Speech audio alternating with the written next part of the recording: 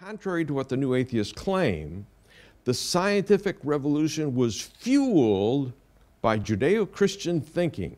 You talk about it like it's the X factor, a transposition in thinking that was necessary for modern science to come about.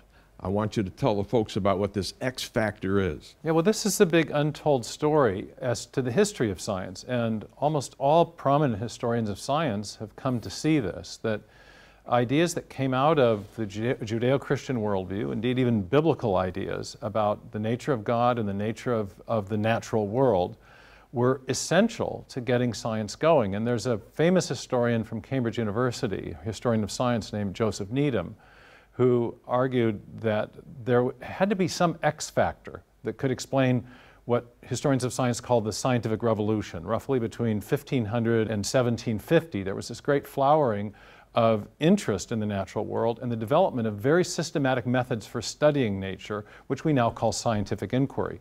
Those methods uh, were not used in other cultures. There wasn't the same interest in the natural world. Yeah, we're talking about Roman culture, we're talking about Egyptian culture, Chinese culture, all, all of, these very sophisticated cultures. The Chinese developed gunpowder and block printing. The Greeks had great philosophers. The Romans built aqueducts. But none of these, even very sophisticated ancient cultures, developed the systematic methods for studying nature that arose during this period of the scientific revolution. And historians of science have asked, why? Why right. there in Europe? Why then?